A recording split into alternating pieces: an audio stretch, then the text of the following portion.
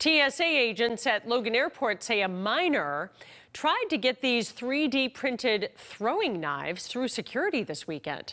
Authorities say this serves as a reminder even digitally printed weapons are not allowed in carry on bags.